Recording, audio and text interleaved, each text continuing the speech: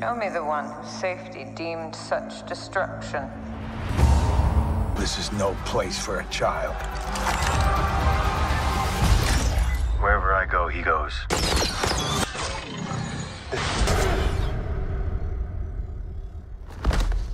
This is the way.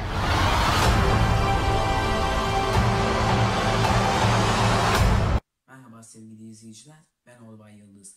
Bugün konumuz The Mandalorian'ın ikinci sezonu.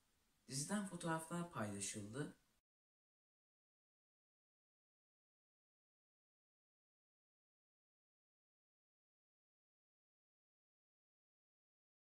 Daha sonra ilk fragman yayınlandı. Ardından karakter posterleri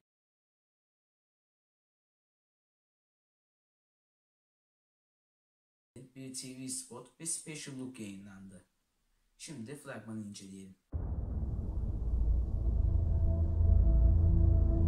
Fragmanın başına Razor Crest'i azalmış bir şekilde görüyoruz. Bir gezegenin üzerinden geçiyor ama asıl detay ise gördüğümüz mavi gezegen. Daha sonra ilk sezonda da Armor ve Mando'nun konuşmasını duyuyoruz. Bir sokaktan geçiyorlar. Sahne değiştiğinde ise bir çöl gezegeninde Bentler üzerinde duran bir kum insanı görüyoruz. Burası büyük ihtimalle Tatooine. Ardından Razor Crest karlı bir gezegene iniş yapıyor ve Bebek Yoda ile Mando yan yanayken buraya Bebek Yoda'nın kökenini araştırmaya geldiklerini Bebek Yoda'nın bakışlarından çıkarabiliriz. Sonraki sahnede Jedi'lardan bahsedilirken bir kadının görünüp kaybolduğunu fark ediyoruz. Ve Bebek Yoda ile Mando deniz yolunda bir yere gidiyorlar. Deniz ulaşımı tercih etmelerinin sebebi Razor Crest'te bir şey olması olabilir. Razor Crest ve Cumhuriyet X-Wing'lerini görüyoruz. Ve Mando bir speeder kullanıyor.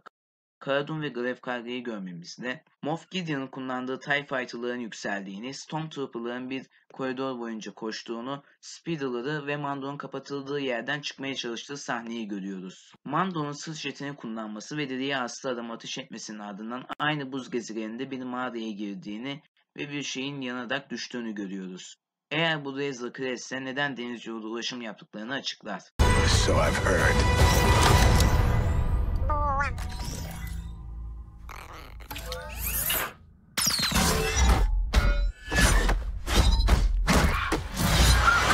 Ve Mando'nun çocuğu isteyen bir takım adamları öldürmesiyle This is the way sözünü duyuyoruz ve fragman bitiyor.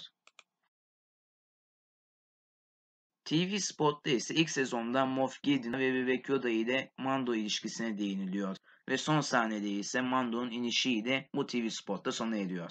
Special Look'ta X-Wing'lerin Mando'nun peşinde olduğunu, Karadun ve Grev Karga'dan yardım istediğini ve Mando'nun mağarada Razor Crest'i tamir ettiğini görüyoruz. Mando'nun ben nereye gidersem o da benimle gelir demesiyle sahne değişiyor. Bu sahnede ise Grev Karga ve Karadun'un ilk bölümde karşımıza çıkan karakteri kaçırdığını görüyoruz. Son olarak Mando, Grev Karga ve Karadun'un birlikte takılırken TIE Fighter'ın uçuşunu görüp Mando'nun havalanmasıyla bu special look'ta sona eriyor. Umarım videoyu beğenmişsinizdir. İzlediğiniz için teşekkürler.